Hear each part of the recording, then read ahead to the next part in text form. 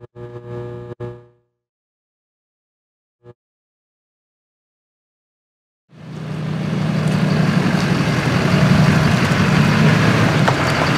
this episode of Tow Rig Tech, Duramax is going to get a little bit of an altitude adjustment, so we don't need these anymore.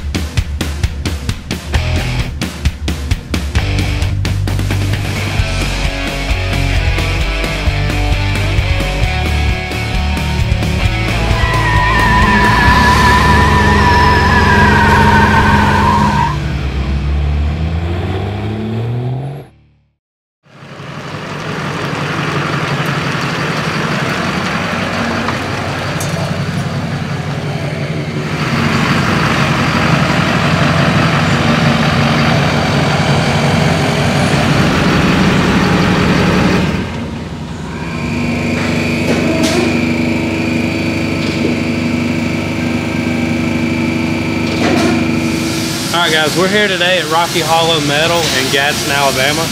And we are going to be throwing a 6-inch suspension lift on the Duramax. Well, we got up with the guys at Rough Country and they sent us this 6-inch kit.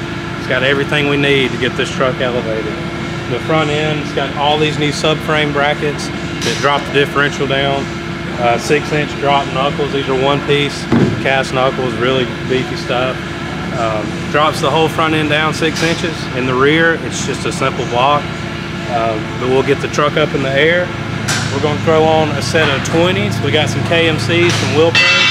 Wrap them in a set of 35 1250s. So we're ready to get started. So the first thing we got to do is head up to the front and start taking off some factory stuff and get ready to throw on the rough country. So we're here today at Rocky Hollow Metal instead of our normal shop because of this beast right here. Now this kit is doable in a driveway. You can do it with jack stands. The problem, our problem with it was you have to lift the truck so high to get enough elevation to drop the factory suspension, put on the new kit, which drops it even further, and then put on bigger tires. It just wasn't that practical and really not that safe. So Tim Meeks was nice enough to let us borrow his shop and use this lift, so let's get to it. I always All right, so we got the truck up in the air and supported on the front and back with some extra tall jack stands. Got the front tires off. First thing we need to do is get these torsion bars loose. Now, if you need this tool. This is a GM torsion key unloader. Um, I picked this up at a local uh, auto parts store. They'll rent it to you for free. You just you leave them your card number and bring it back when you're done. There's no charge. Uh, but first thing you should do is loosen the torsion key bolt all the way out. Um, you'll probably want to take a grease pen and put a mark on it on the thread so you'll know how far it was run in from factory. Um, take that out. That'll, that'll let the torsion key come down onto this bar. Then you use this puller to compress the key back up, pull this bar out, and then you can unload this uh, torsion key and the whole, the whole system will come apart. Block.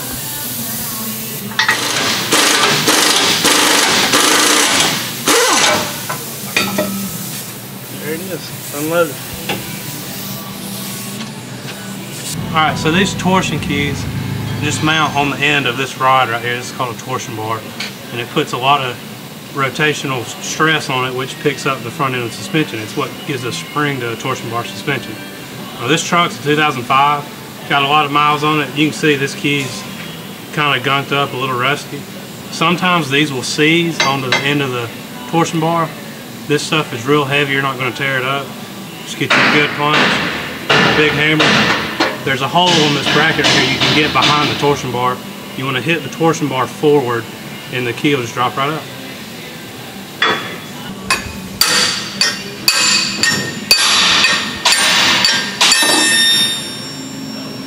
Next thing you want to do is take this factory front skid plate off.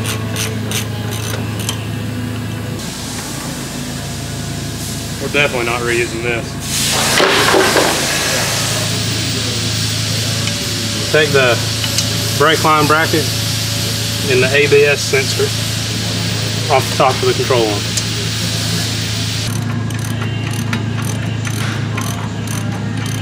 arm. Next thing you want to do is take off the brake caliper and the caliper mount. And you need to hang it somewhere where there's no tension on the brake line. We're going to hang it from this bracket right here.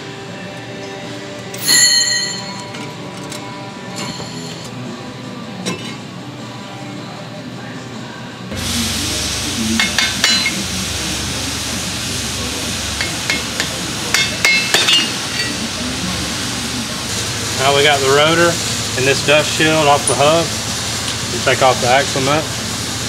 And you want to loosen this tie rod nut, but don't remove it.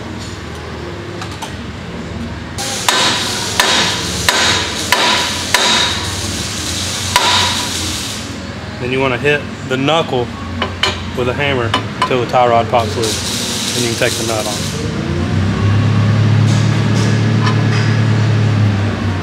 Loosen up the upper and lower ball joint nuts, but don't remove them.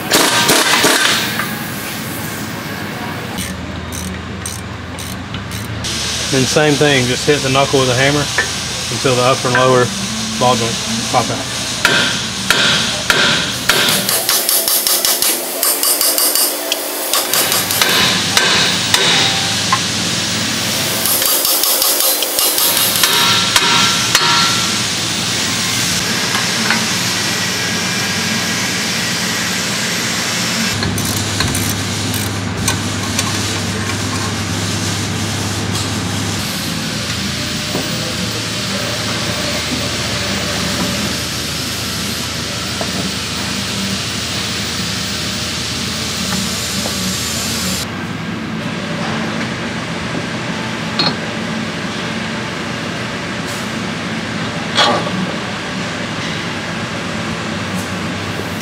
Alright, now that we got the factory knuckle and bearing assembly off, first thing we want to do is take off these four bolts.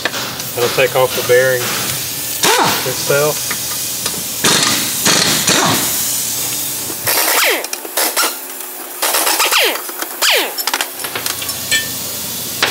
Four bolts. And this is a unit bearing assembly. So these will separate factory knuckle factory dust cover. I don't particularly like these, so I'm not going to reuse it. We have the stock unit bearing here. Now, one thing you need to get out of the factory knuckle, there's an O-ring here that needs to be reused. So we just used a little screwdriver. You just want to be careful that you don't tear it while you're getting it out. Just pry that up, pull it out, discard factory knuckle say a good wipe down.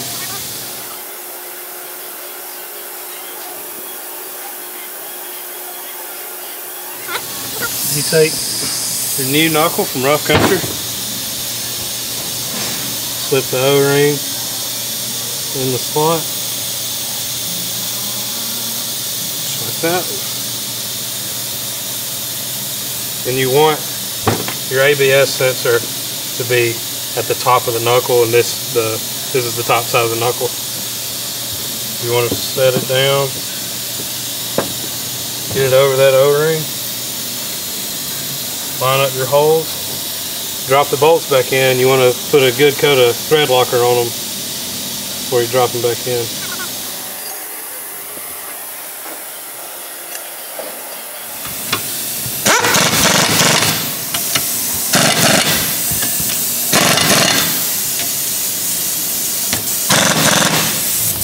What do you want to torque those two? Two Ugga Two Ugga on the impact. So now your knuckles ready to be reinstalled, but we're not quite ready to put them on yet, so you can just set these aside.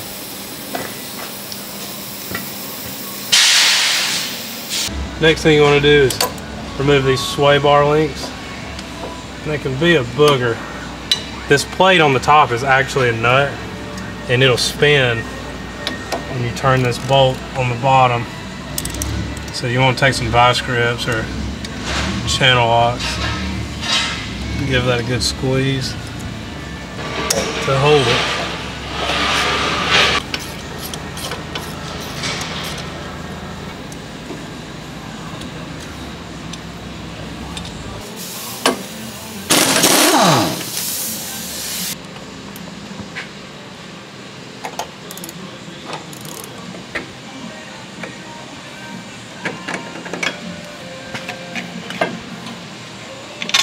Pull out the shocks.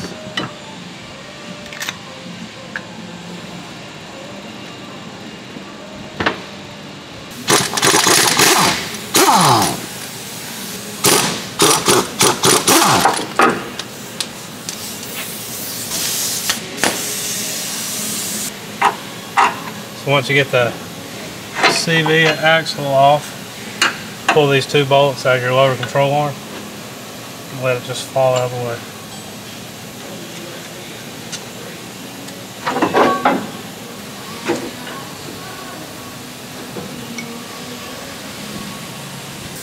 Alright, this is on the passenger side of the diff. You want to unplug this plug. It just runs right into the diff housing. Right there. Also remove this vent hose on the driver's side. And then you want to take off the drive shaft that goes to the front diff. But make sure you take a marker a grease pen and mark how this is oriented because you want to put it back together the same way.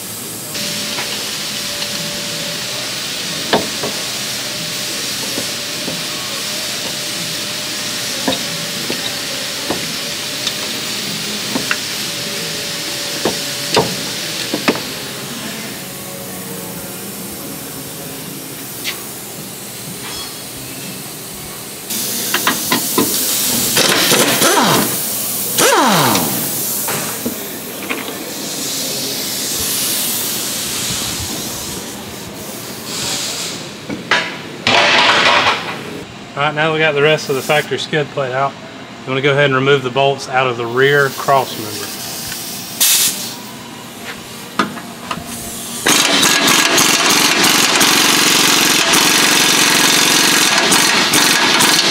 And I got nuts.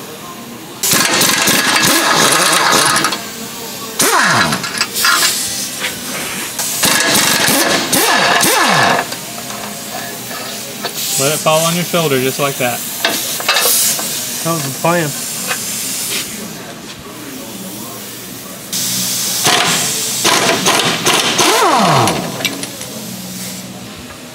Alright, so we got the lower bolt out of the driver's side on the differential.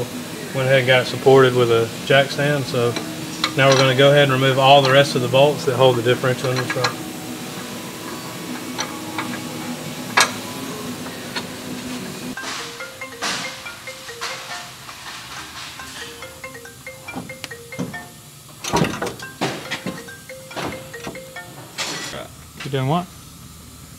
Cut this shit off. You don't need that no more. Alright, so we got all the bolts out of the diff, got it supported with a jack. Um, this bracket here that the rear uh, factory cross member bolted to originally, it's welded to this uh, lower control arm pocket right here. This needs to be cut off where we can drop the differential down. So you'll want to cut this weld right here and you don't want to cut into this control arm pocket. Oh, my voice is going out.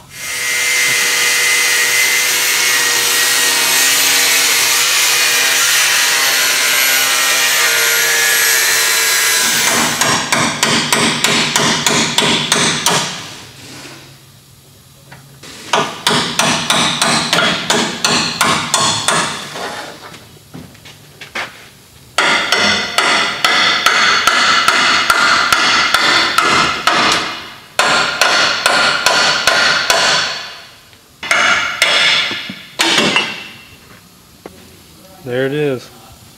So now you're pretty much at the point of no return. We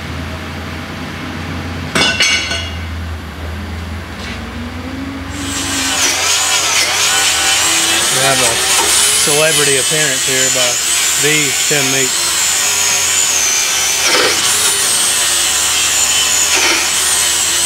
You must be a crappy welder because he's really good with a grinder. Good as a grinder. He thinks, he thinks we're not capable, so he steps in, but I'm good with that. That's just more I ain't got to do.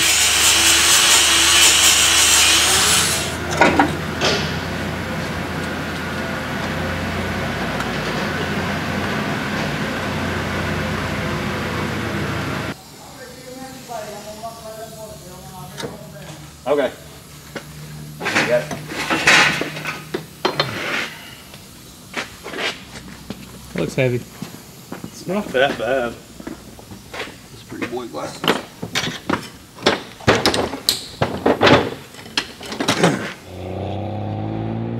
All right, so we got the diff out of the truck over here on the table.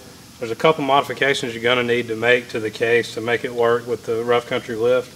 One of which is to cut off this top mount on the top side. It's the top front side of the diff. Just cut it off flush with the case. And also there's some cooling fins on this side that'll need to be clearanced as well.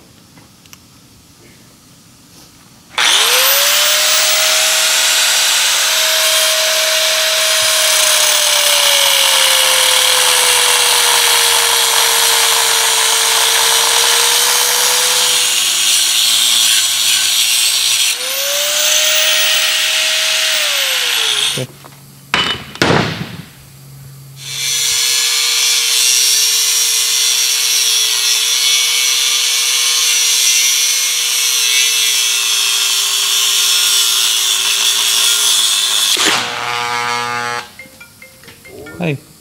what are you doing with that in your shirt? Getting rowdy. Hey. Broke oh, it. Trying to finish stuff up here. You gonna make a belly shirt out of that now? Might do something. Did you bring another t-shirt? No. Why would I bring another t-shirt?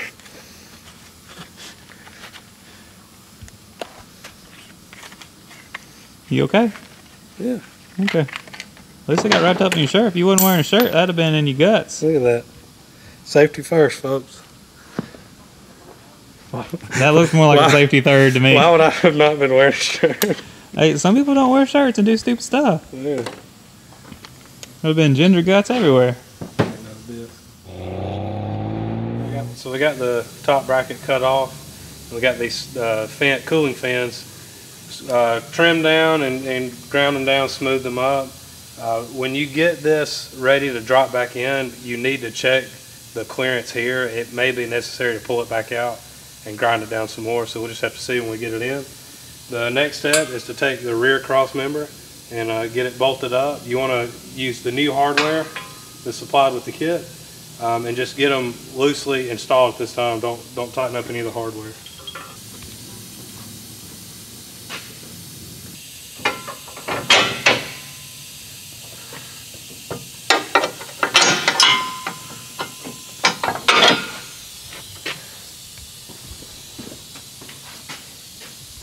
Right, I got the rear cross member bolted in. The next thing you going to do is take the differential bracket from rough country. Looks like this.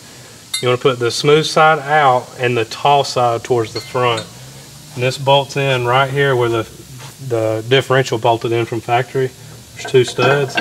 Slide it over that. Take your factory hardware that came off the differential and tighten this up. Just do it again, do it finger tight. Everything you want to be finger tight until we have everything in place. Tighten it all up at once. Work. Yep. So we got the new front diff bracket bolted up. You just take out factory bolts and uh, replace them with the bolts from the kit. Um, got the bushing pressed in and the new sleeve. Next thing we got to do is get the diff uh, hoisted back into position in the truck, which will probably require some help. So if you got a friend, it'll make it a lot easier. Or if you don't have any friends, Have a shop do it. have the shop do it. Bad. It's just weird. It's just awkward.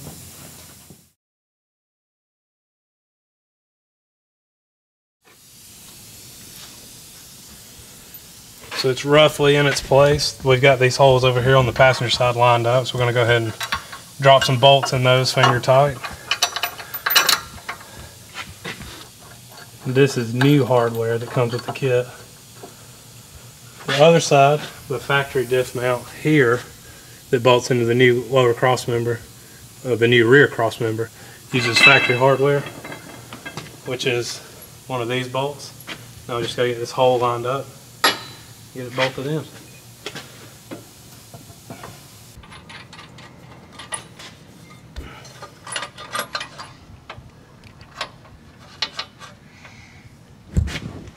So we got the diff, front diff wrestled into place. Next thing you want to do is throw in the front cross member.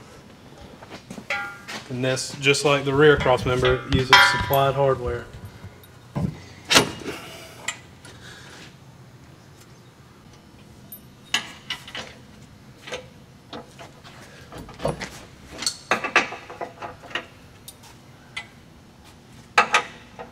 I got the front crossmember in, bolted in on either side. The last connection for the crossmember is right here, this bracket that we put on the front diff. The bushing goes in between these two tabs on the front cross member, and then the skid plate slides up over those tabs. Line it all up, bolt it together with the supplied hardware.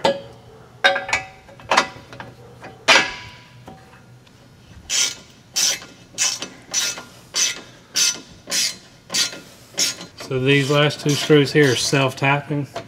You want to make sure they go in good and straight. You don't want to over tighten these. But these tie everything together. This ties the front and rear cross members together along with the differential which really makes the whole front end a lot more stable.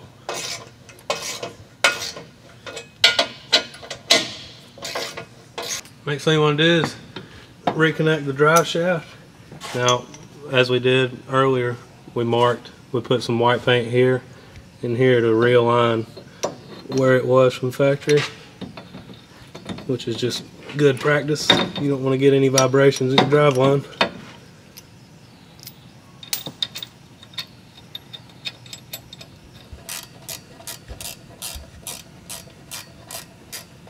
Alright, so we got the vent hose on the diff plugged back in and the electrical connection on the passenger side, got that plugged back in. Now I got to put the lower control arms back on.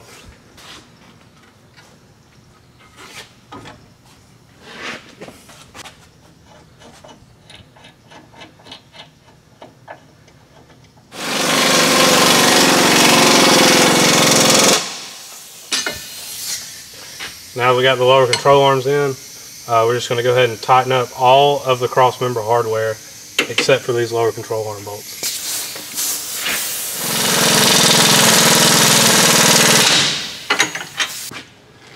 Alright, we got all the cross member hardware tightened up and good to go. The lower control arm bolts are still loose, but now we've got our knuckles that we assembled a while ago are ready to go on.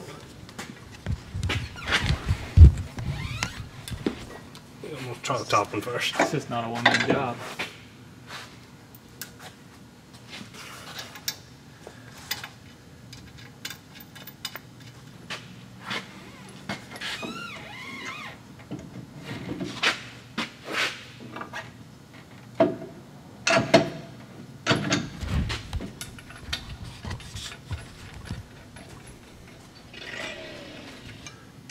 Alright, so these the factory ball joints, upper and lower ball joints, are keyed on the bottom. Now when you start tightening these up, you'll get to a point that the stud on the ball joint will spin when you just turn the wrench.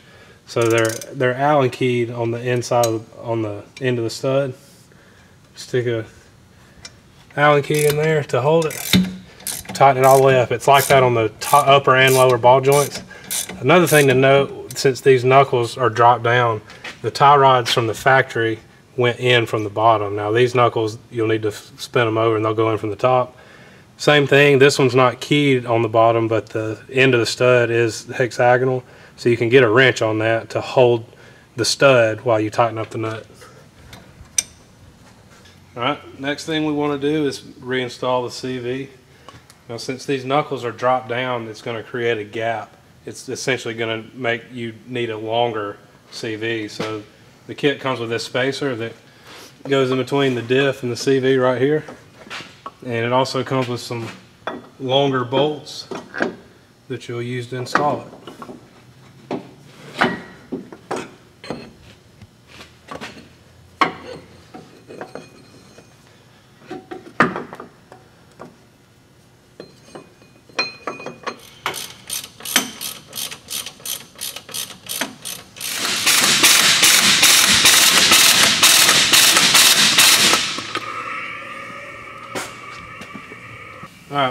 Things you got to do up front, the kit, obviously now, since the knuckles are dropped, the sway bar is going to be too far away from the lower control arm. So the kit's got these sway bar end links. It's got brackets that you bolt on the lower control arm and the sway bar itself.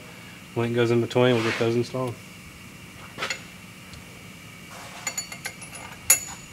Alright, so you want to make sure when you put these in, the link has this bend in it, and that's to clearance for the tie rod. So the lower bolt, when you get the link oriented this way, you want to put the bolt in from the inside to where the nut is on the front side That way you won't have any clearance issues between the CV and the bolt.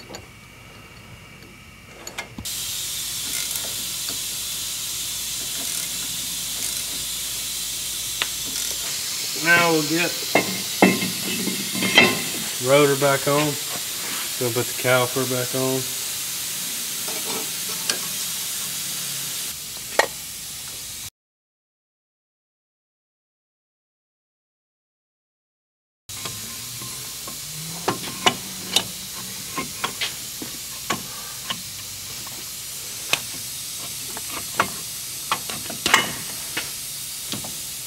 All right, now we got everything back together, go ahead and tighten up these lower control arm bolts.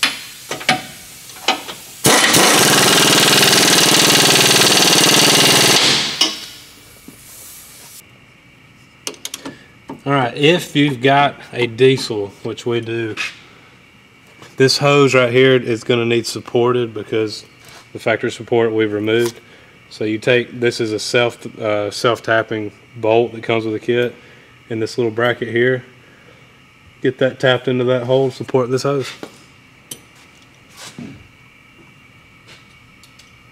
All right, now we need to drop the torsion bars, and to do that, first we need to take out the factory bracket. Just one bolt on either side. Take those out, the whole thing will come out.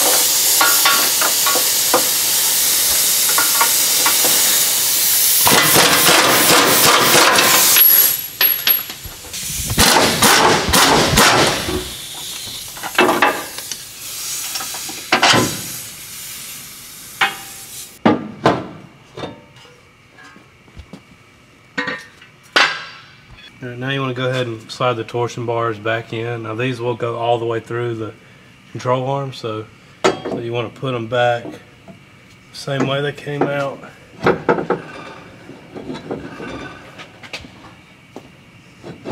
Slide them all the way through. Just let them hang for now. All right, so these are the drop brackets for the torsion bar cross member. Now it's got these holes in the top that locate, there's a bushing in here that the cross member mounted to factory. It's riveted in and you use these holes to locate over the top of those rivets. And you want to just get it clamped in place and there's a few holes you got to drill into the frame to get this mounted.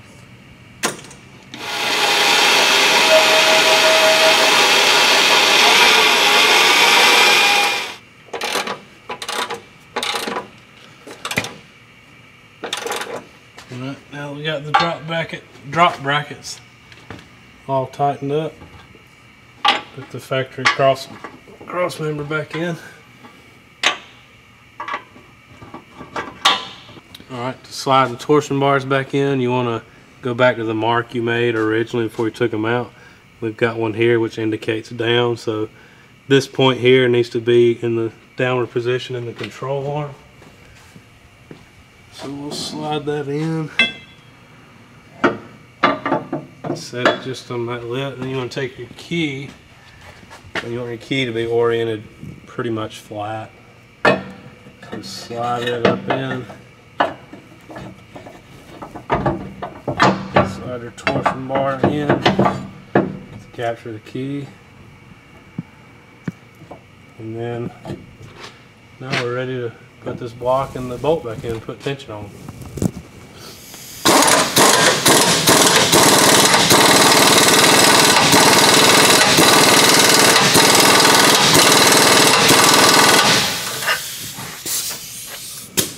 Alright, so we used our unloader tool again to put torsion on the keys.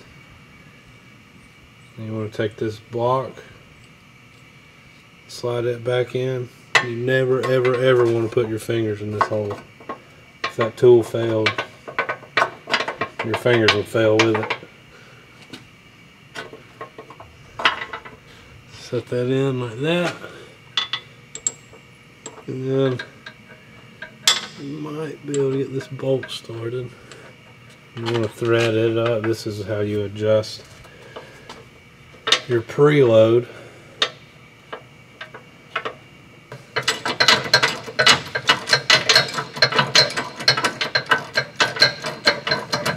Once you get your bolt in to this block, you can unload this tool. Do the same thing for the other side.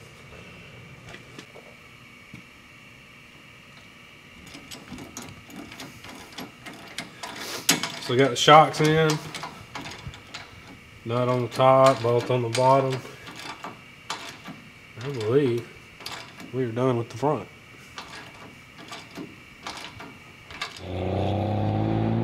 Alright, so on the rear, already got the tires and wheels off. Next thing you need to do is take the shocks off.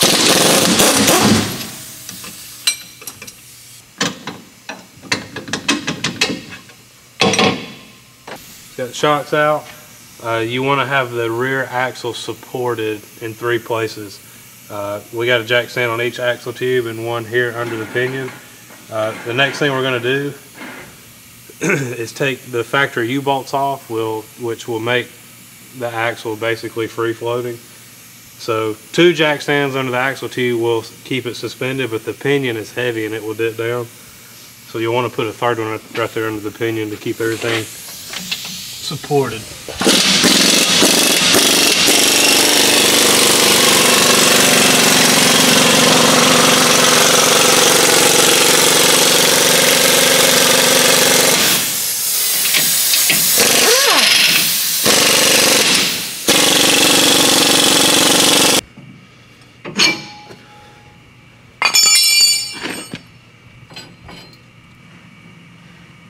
Got the axle loose, got all the U-bolts and the plates off. Now we're just lowering the axle down where we can fit that lift block in between the spring perch and the leaf spring.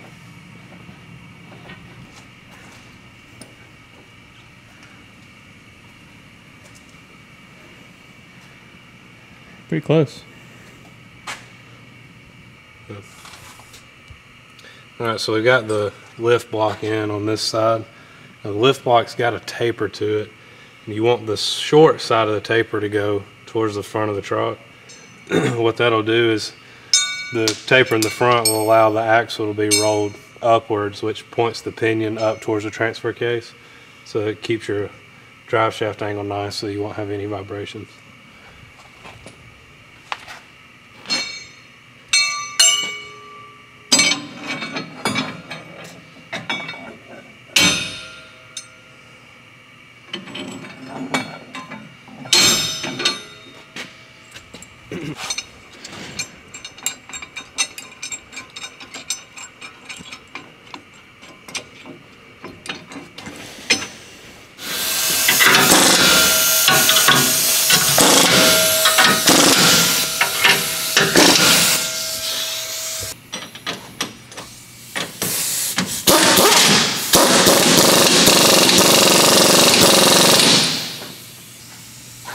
What you can? What do you do with these little guys? Blow people. Scare women and children? Yeah. Well, mostly like little short men that drive big lifted trucks. Ginger power stance. Hey, whatever works.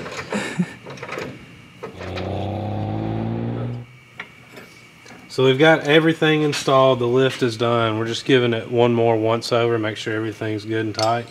Uh, tying up a few loose ends like the brake lines and this uh, wheel speed ABS sensor. Uh, we need to get those tied up out of the way.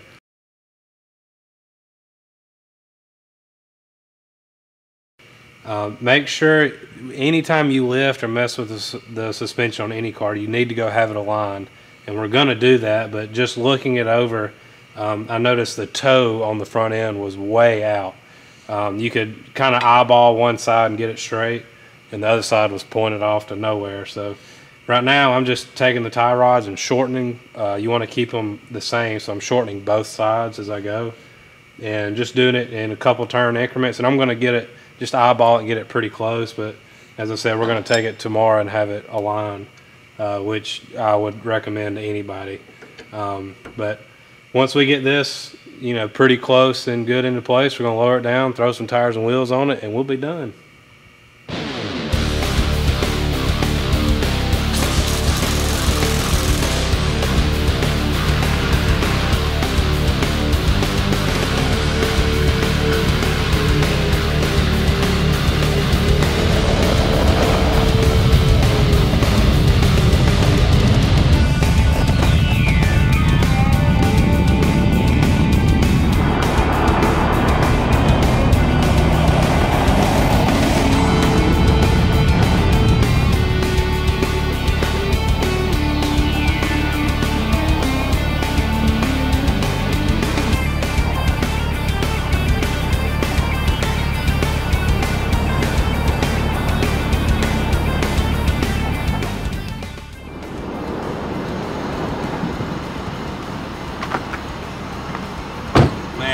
Really got to say, I am stoked on the way this came out. This lift kit from Rough Country, the truck's got a nice big stance now.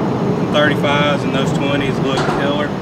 We've put some miles in the truck now, and I may get flamed for this, but I gotta say, the truck still rides like stock, even on 35 inch tall tires. So if you guys want to get any of these parts that we've used, like the lift kit or the wheels, for your ride, we're gonna leave some links in the description. Uh, make sure you go click on those and, and check those guys out. Big thanks to Rough Country and Wheel Pros for helping us out with this. Uh, if you guys want to see some more episodes of Tow Rig Tech, they're over here. Uh, we've got a button down here in the corner to subscribe. Make sure you subscribe so you stay up with the latest and greatest with Busted Knuckle. And make sure you guys check us check us out next time on Tow Rig Tech.